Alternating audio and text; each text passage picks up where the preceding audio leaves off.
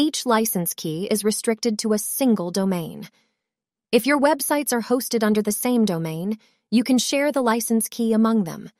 However, if your websites are hosted on different domains, you will need a separate license key for each domain. At times, there may be a need to transfer a license key from one domain website to another.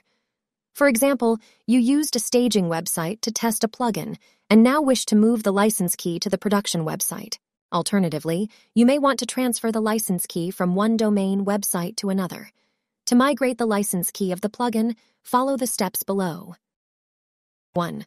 Remove the license key from the domain website you no longer wish to use and save the settings. 2. Deactivate the plugin on that domain website to release the license key.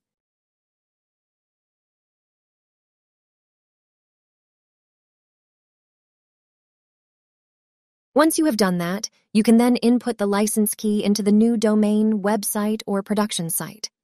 Upon activation, the plugin should recognize the license key.